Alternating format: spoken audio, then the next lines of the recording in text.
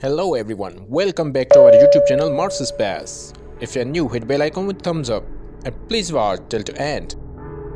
NASA's Mars Perseverance rover acquired this raw image on the surface of Mars on 18th August 2021. Sol 173 when reached at the site of Jezero crater and discovered many amazing rock shapes.